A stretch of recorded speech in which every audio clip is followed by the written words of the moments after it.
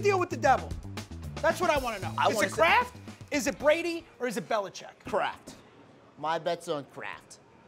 The entire AFC East, since he's owned this team, 44% winning percentage.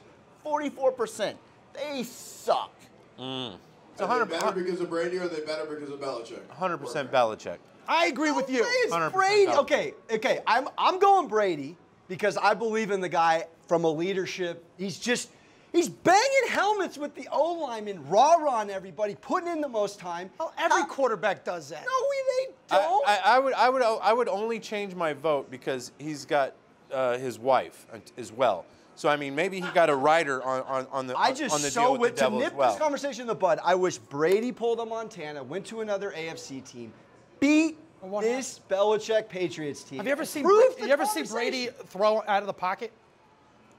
It's not that great. But it, Yeah. well, so that's why you got to credit Belichick because it's scheme. It's that- Oh, you also that's got right. to you also got to remember Janine Garofalo threw. Uh, they were winning. they went three and one without Brady. Matt Cassel threw for four thousand. They went 11 and 5 the year Brady missed that year. 11 and 5. Didn't win I the hate that argument. That's coming off arguably a top three offense of all time. But here's, oh here's, here's the thing. In 10 years from now, how many of these Patriots that Belichick coached are going to be Hall of Famers?